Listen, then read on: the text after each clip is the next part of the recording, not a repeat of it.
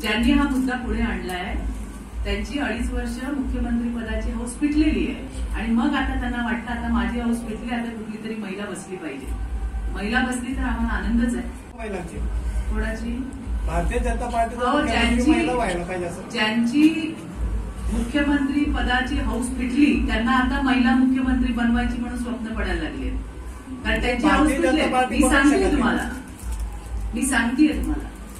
ज्यांनी हा मुद्दा पुढे आणलाय त्यांची अडीच वर्ष मुख्यमंत्री पदाची हौस पिटलेली आहे. आणि मग आता त्यांना वाटतं आता माझी हौस पिटली आता कुठली तरी महिला बसली पाहिजे. महिला बसली तर आम्हाला आनंदच आहे. पण महिला मुख्यमंत्री झाल्यानंतर आमचे सगळे प्रश्न सुटतील या मताशी मी सहमत नाही. आम्ही जेंडर इक्वालिटी मानतो.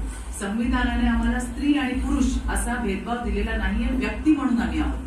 त्यामुळे जी व्यक्ती त्या मुख्यमंत्री पदावरती बसेल तिने त्याचं दायित्व सांभाळल्यानंतर त्याच्या सगळ्या जबाबदारीने काम केलं सगळ्या घटकांना न्याय दिला. मग ती स्त्री असो किंवा पुरुष असो त्याच्याने आम्हाला